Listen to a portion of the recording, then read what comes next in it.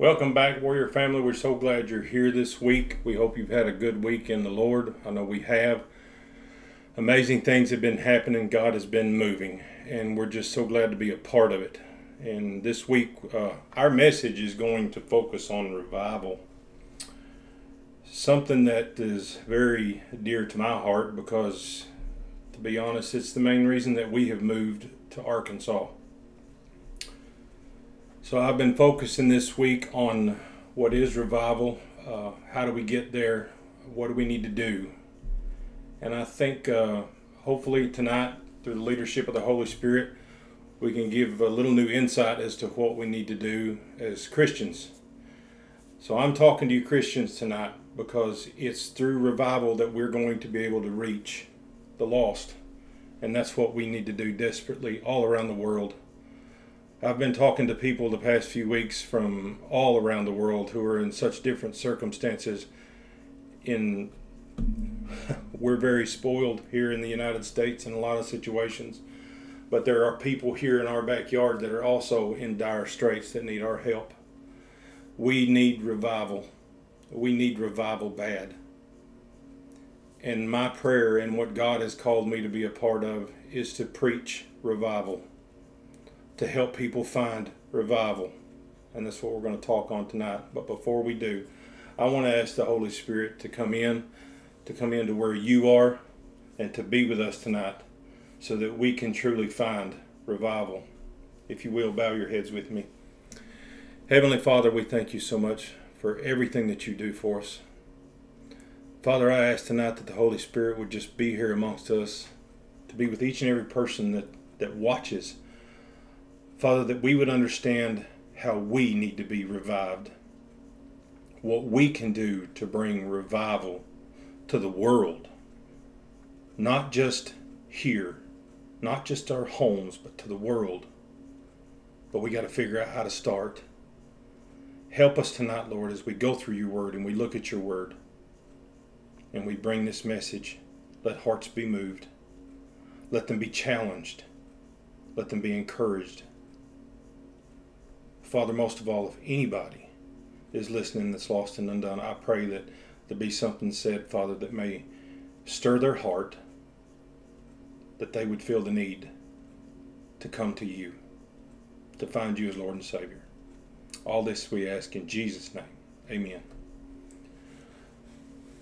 So, how do we bring revival?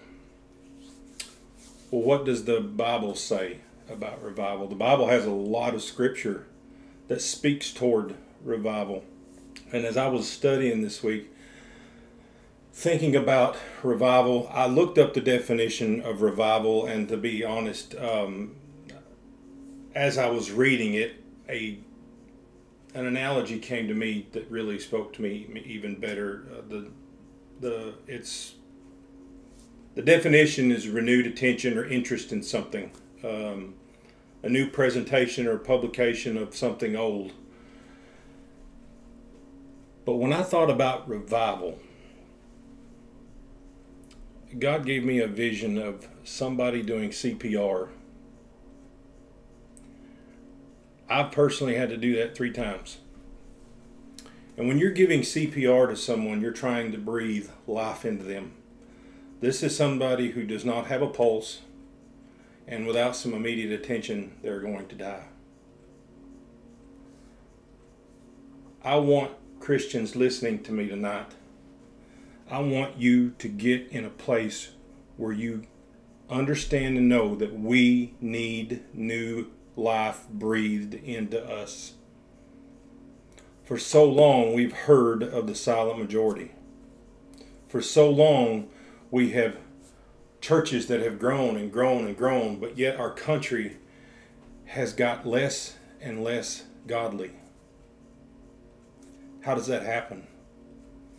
We stay inside our comfort zone and we don't want to get out into the world. We need to we need a, sh- a shift. We need a serious shift in how we think about who we are as a Christian, what we need to be doing as a Christian. So I want to challenge Christians tonight. We need revival. What do we need to do? There's some very old scripture that people have heard over and over, but I feel it's very pertinent. But hopefully we can look at this again and I want you to look at yourself. I, I don't want to speak this toward a mass of people right now. I want you to look at yourself because that's how it begins.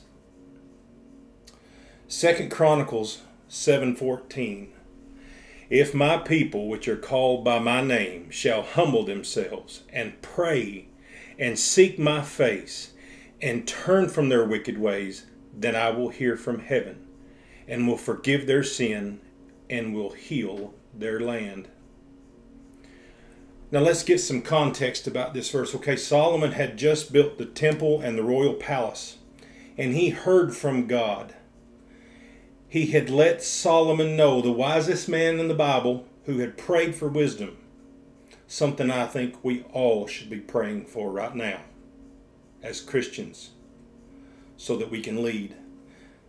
Solomon had heard from God, and God told him that there will come hard times. Second Chronicles 7:14 read that whole chapter. But he said there would come hard times. But when these hard times come, this is what I want my people to do, which are called by my name, Christians, born again believers that are led by the Holy Spirit. If they will humble themselves, guys, we have got to get pride and what we think we know out of the way, fall down on our face before God, and realize that we don't know anything. Without the leadership of the Holy Spirit, without the indwelling of the Holy Spirit and God's Word, our knowledge is not what we need to be leaning on. The Bible instructs us to lean not unto our own understanding, but lean unto God's. Humble yourselves if you have things in your life that you need to get out of the way so that you can go to God in prayer and everything be clear between you and God, get it out of the way, whatever that is. If you have that thorn stick, that twig sticking out of your eye, get it out of your eye. Ask God to forgive you for whatever it is. If you think for one second that God doesn't already know, He's God. He wouldn't be God if He didn't already know. We have to remove pride. Go before God.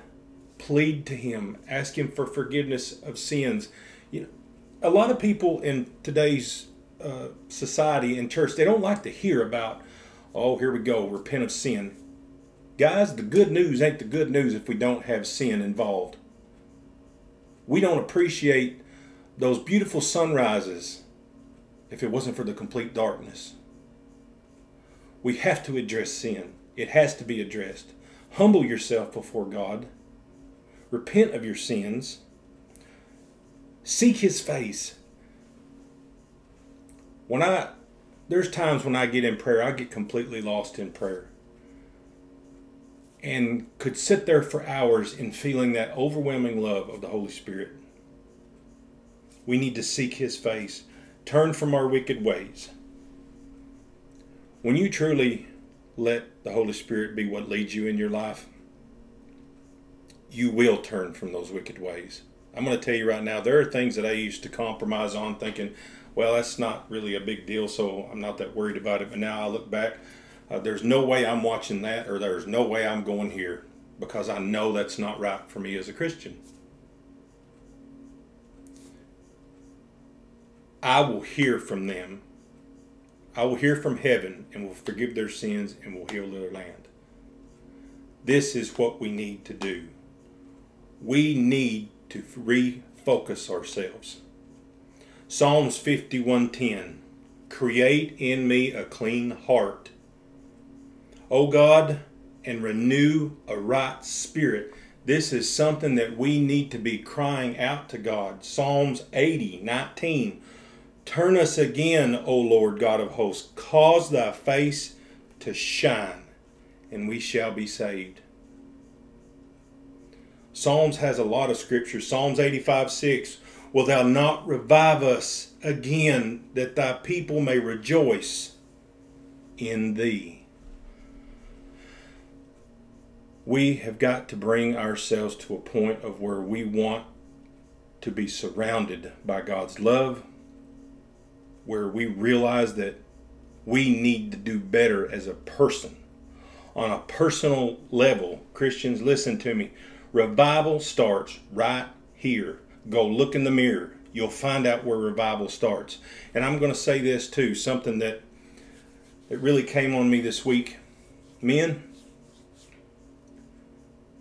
take your rightful place in your home as the leader of your household we were at a Bible study together last week with uh, some wonderful men that I, I, meet with, and one of the gentlemen uh, made a comment that just really stood out to me. Guys, I know uh, everybody, a lot of people use the YouVersion app on your phone to read, to make notes. I do uh, have it on my tablet.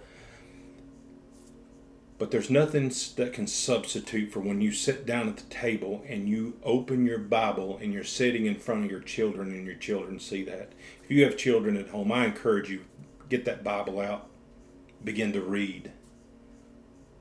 Begin to pray out loud. Let them see. Men lead in your home. Because I guarantee you, if you're leading in that way, a lot of people don't like it when you start talking about wives submit, but a wife is not going to care one bit if she has a godly husband who is leading his living his life the way God instructs. Wives, I would encourage you as well, join your husband. Let your family see that as a unit you are trusting in God. We need a shift in our hearts.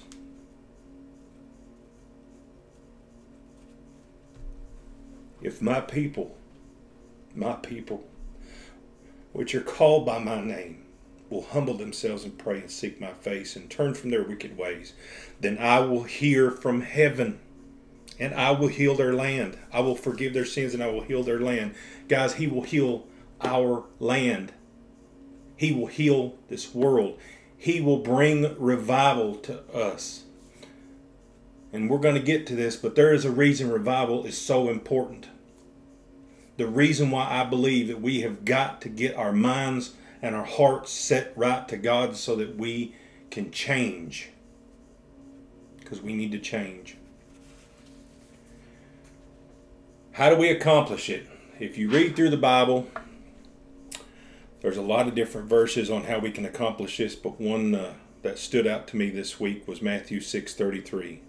But seek ye first the kingdom of God and his righteousness, and all these things shall be added unto you. Now, when you look at that verse in context, it's talking about don't worry about what you're going to eat. Don't worry about what you're going to drink. Don't worry about what you're going how you're going to dress. When you seek God above everything else, it is a complete shift in perspective. When you put your trust in God and you seek Him above all things, everything else is going to take care of itself. Christians, I want you to listen to me. I don't watch the news. I can't stand to hear about the politics anymore. I can't stand to hear about the COVID anymore. I can't stand to hear about any of it anymore. And some people may think, well, how? Why do you? You need to stay informed.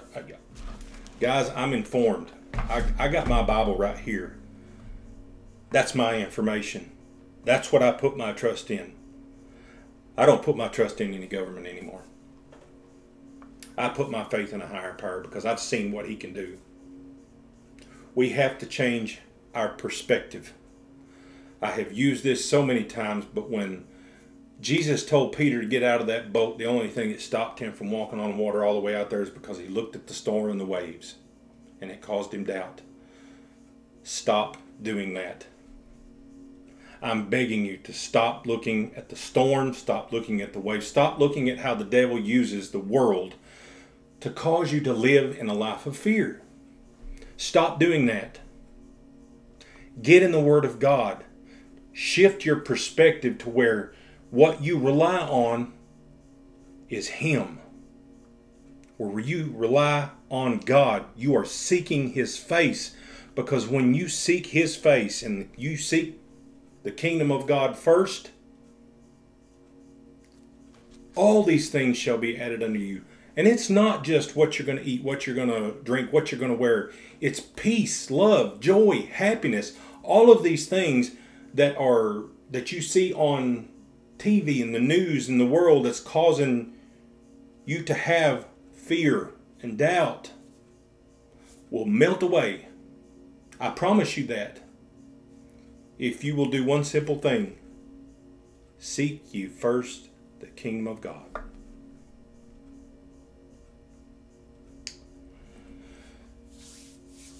What happens when we do this? What happens when we humble ourselves, we truly go to God, Ask Him to remove anything out of our lives that stands between us and Him. From having that relationship again, that powerful relationship with God through the Holy Spirit. What happens when we seek His kingdom first and we change our perspective on how we're looking at the world? Not looking at the world through the world's eyes, but looking at the world through God's eyes. How God sees it, how He tells us to look at the world. Looking at God for our guidance, the Holy Spirit. What happens? All we got to do is look at the book of Acts. Now, I've said this for several weeks. My wife and I have went through the book of Acts probably three times, and we'll probably go through it a whole lot more because I strongly feel led to keep reading this book until it is pounded into me because this is what I, I believe with all my heart for us as Christians to find the power, the freedom, and the joy that God has for us. We have got to return to the church of Acts. They did not doubt, those apostles did not doubt. Peter didn't doubt when he told Tabitha, Rise up. We have got to get back to that. What happens when we seek God first? Acts 1 12 through 15. Then returned unto they unto Jerusalem from the mount called Olivet, which is from Jerusalem a Sabbath day journey. And when they were come in, they went into an upper room, where abode both Peter and James and John and Andrew, Philip and Thomas, Bartholomew and Matthew, James the son of Alphaeus, and Simon Zealot, and Judas the brother of James. These all continued, now I want you to listen, these all continued with one accord in prayer and supplication. Supplication is the action of asking or begging for something earnestly and humbly. When was the last time that you fell on your face before God and asked earnestly and humbly, God, please bring revival to my soul. Bring revival to my heart. Put a fire in me let the Holy Spirit put a fire in me that makes me want to become a better Christian and serve you for the rest of my life and win people to Jesus. When was the last time that you prayed like that? I want this to challenge you.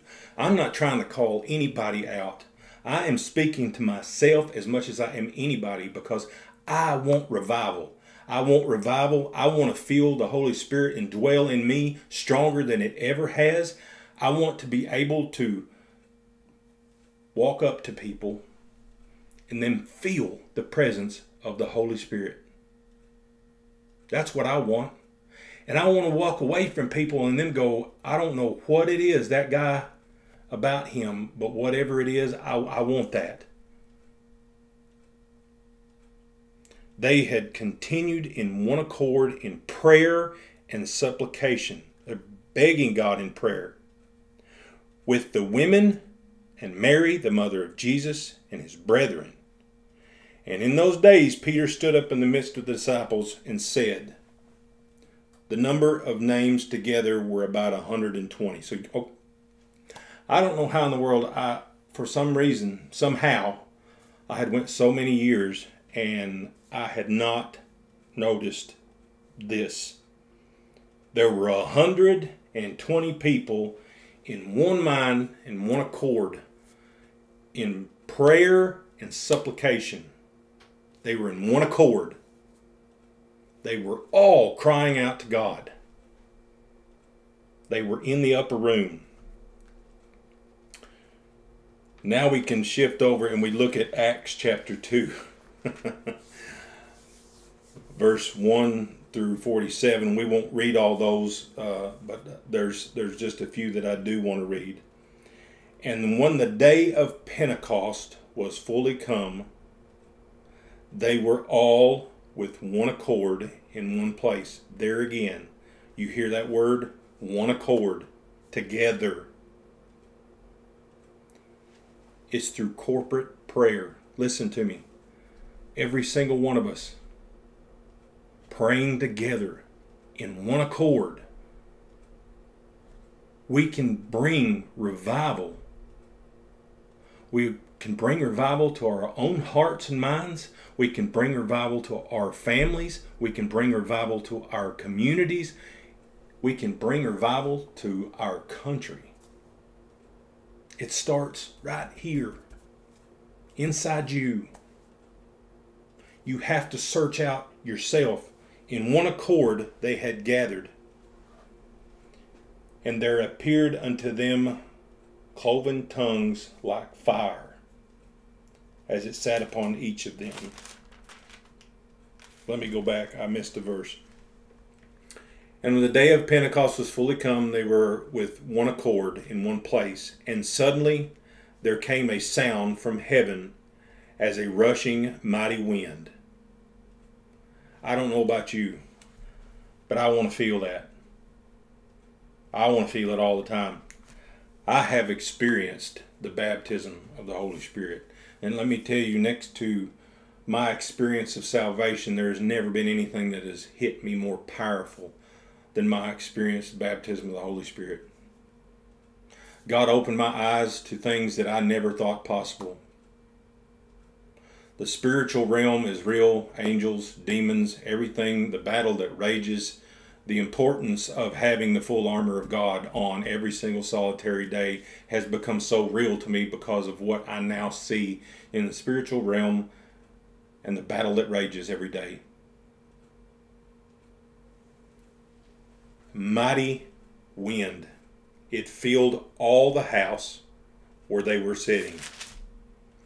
And there appeared unto them cloven tongues like as of fire sat upon each of them. And they were all filled with the Holy Ghost and began to speak with other tongues as the Spirit gave them utterance. And there were many tribes in the town. And as these men went out to speak, as the apostles went out to speak, they were speaking to people that were from other tribes, from other areas, and they were able to understand them. And like, are these guys drunk? It's the middle of the day. How are we understanding these people in our own language? The Holy Spirit had come. The day of Pentecost had come, and thousands of people were saved. This is what I want to see happen in our churches, in our communities. I want to see it happen with individuals so it happens to the churches so that finally we get outside of the four walls of the church and we get out into the communities and we really start to see revival hit. There are a lot of people out there that are not going to step foot inside a church. We have got to take it's it's like being in a field hospital. We got to get out to the field and we got to take it to them it's time to get back to some of those old ways, those old tents in a field, on the right on the side of the road, wherever we got to do it. We have to spread the word of God. We have to get it out to people.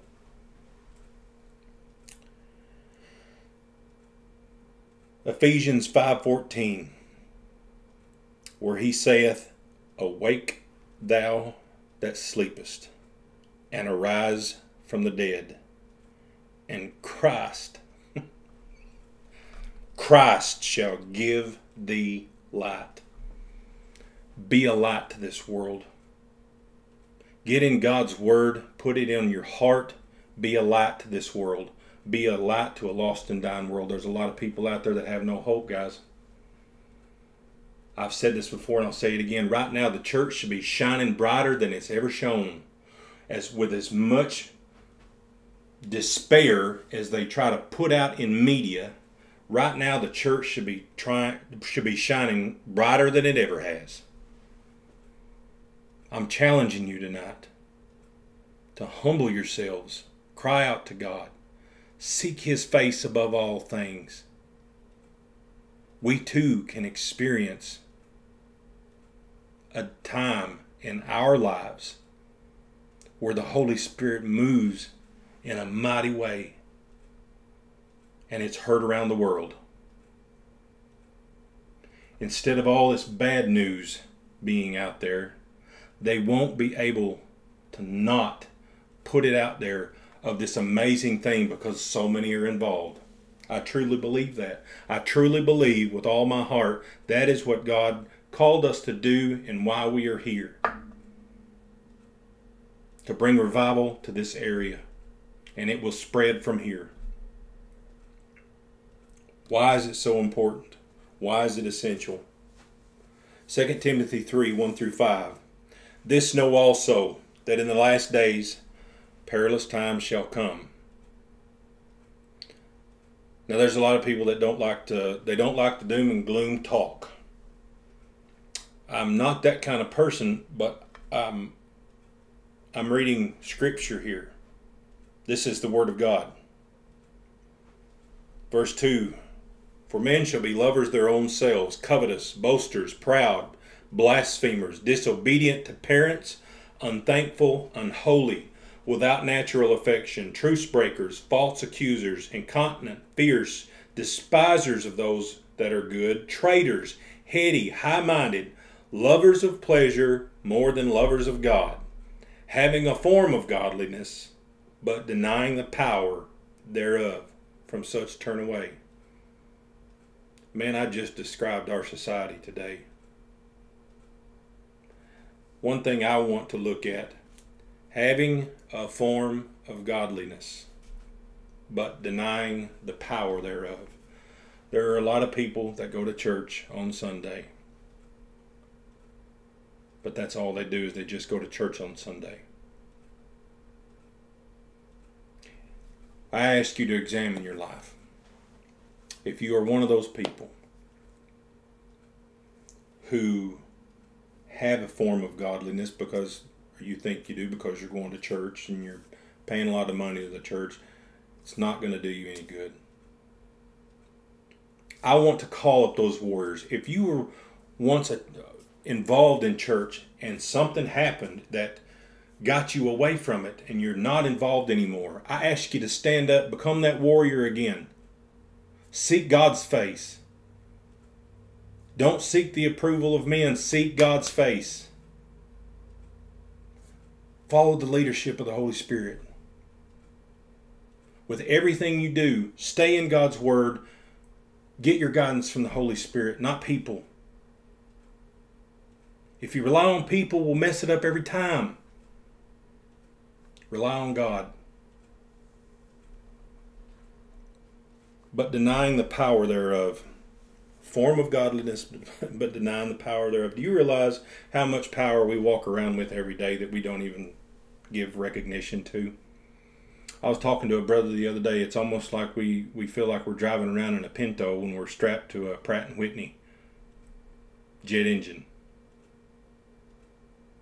There's power in the Holy Spirit. Claim that power. Search the Word. Cry out to God. Humble yourself. Let's do this together. Let's become a people that pray together. Let's become a people who seek God's face above all things. If we will stop paying attention to all this media blitz of bad news, turn it off, get it out of your head, focus on God, we can change things. You think, no, it's too late for that. It's too late. It's just going to be what it is. You know what? They may still keep playing it, but that don't mean you got to buy into it. Let God have control of your life. Let the Holy Spirit rule you. Let the Holy Spirit rule your footsteps.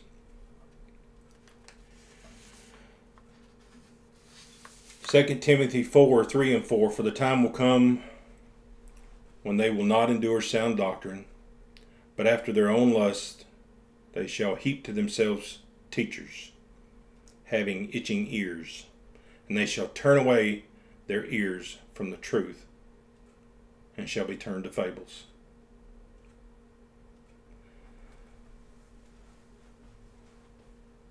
Doctrine needs to be put away. The only thing that needs to be happening in churches today is the Bible's the Bible preached, the word just preach the word. I don't need your doctrine. We don't need doctrine. We just need the word. Preach the word. Let the Holy Spirit teach you the word. I don't care what denomination you call yourself. I'm asking you to please step outside of that denominational viewpoint, that filter, that doctrine. Just get in the Word and ask the Holy Spirit to teach you. He is the ultimate teacher, not your pastor, not me. I'm giving you the Word. That's all I can do. I'm just spreading seed here. All we need is the Word and the Holy Spirit. James 4 8 Draw nigh to God, and he will draw nigh to you. Cleanse your hands, ye sinners, and purify your hearts, ye double minded. It's a reminder. We've got to draw close to Him. Tonight, I'm reminded of something that, uh, and I'll say this real quickly. I'm reminded something that I didn't learn until I got here to Arkansas. There was a lady by the name of Corrie ten Boom. And I don't know if you've heard about her or not, but Corrie ten Boom, uh, during World War II, her and her family, they would they were hiding Jews when the Nazis would try to come looking for them, and in the process of doing that, uh, they were betrayed somebody ratted them out and they were taken to uh, prison. And she has a book called The Hiding Place, and there, there's actually they made a movie after it, and uh, I've watched it. Um, it's powerful, and it's um, it's amazing what that lady went through. And she had her moment too, where anger began to take over. But she she got refocused on God and after coming through that experience and everything she saw, she started her own ministry. And in the early 80s, she was doing an interview on TBN. And now I understand she's not from America. She looked into the camera and she said there's going to be a revival and the center of the Christian movement in the United States will begin in northwest Arkansas. Now, again, I didn't know anything about this until after we moved here, and when I did, man, it just charged me. I mean, it supercharged me because it's almost a confirmation because I had no, I'd never heard anything like this until then. A few years later, she came back, and up in uh, Harrison, she was standing in a field and it says that in her, in her her spirit she saw angels with drawn swords five deep as far as far as her, her spiritual eye could see. Now for those of you that have never experienced anything like that when you when the holy spirit opens your when god opens your eyes to the spiritual realm things look different. I've experienced that myself. And for her to stand there she saw in her spiritual eye, as far as she could see, angels, five deep, with their swords.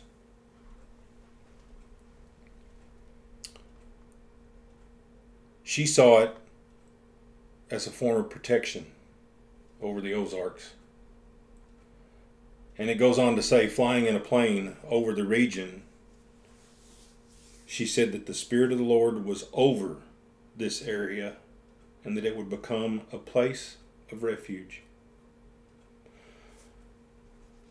I want you to do me a favor, please, and continue to pray for us because we want to see revival come. Let's pray for each other through corporate prayer. Let's pray for each other continually in prayer that we would be revived and we would see revival come to our hearts so that we can see lost people saved. Why is that so important? I don't want to see anybody go to hell. If you are listening and you have never asked Jesus into your heart, everything I've just talked about is an effort so that we can become better Christians, so that we can get to you, so that you can have eternal life through what Jesus did on the cross. So tonight, if you're not saved, Romans 10 9, that if thou shalt believe in thine heart, if, you, if thou shalt confess the Lord Jesus Christ and believe in thine heart that God hath raised him from the dead, thou shalt be saved. All you have to do is ask, believe, and confess.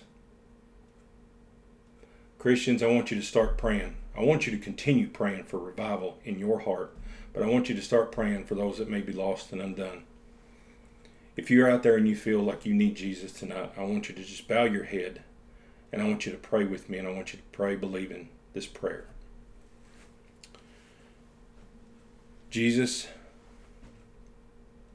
I believe you're the Son of God and I confess you. I thank you for what you did on the cross. I believe that you did it to save me.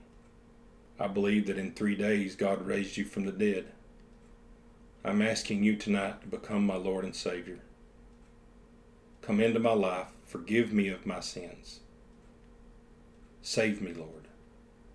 For it's in Jesus' name I pray. Amen. If you prayed that prayer, then we are so happy because you are now a child of the King. Reach out to us here at Broken Warrior Ministries. By all means, please let us know. Please let us know how you're doing. We would love to help. Our phone number is on our Facebook page. We've had several people reach out to us through that, message us. We have people around the world that are watching, and we're so thankful we're going to see a change. We're going to see a shift. We're going to see God move. Christians, it's time. I'm challenging you tonight. Become the warrior that God asked you to be. Be what God wants you to be. Fulfill the purpose that God has for you. We love you and we thank you. We're praying for you. Pray for us. We'll see you next week. We love you.